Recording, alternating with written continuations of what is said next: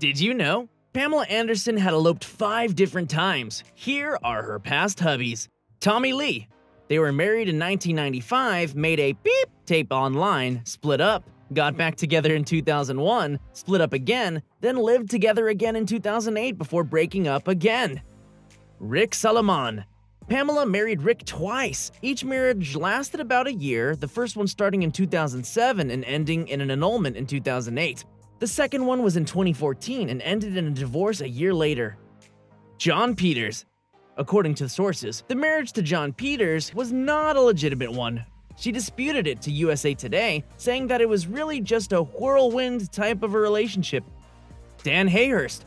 Dan is actually her bodyguard. The pair were married in a private ceremony at the same home where her parents were joined in holy matrimony.